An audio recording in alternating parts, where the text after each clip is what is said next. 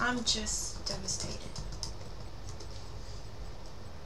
I want to do an episode on atom devastation.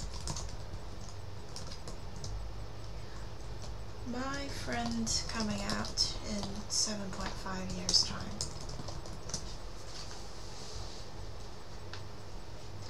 But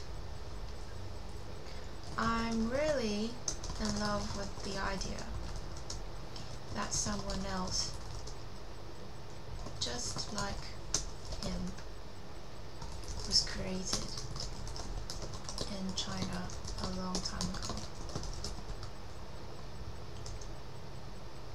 A descendant is created in his bloodline but has lived like a commoner and a slave to the Chinese whims because he was a Greek descendant.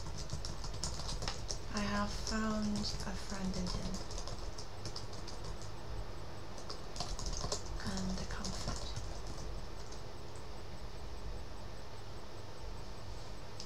I am waiting for him to come out in 7.5 years time. But I don't want to give up and be a fool to not see what is blossoming every day here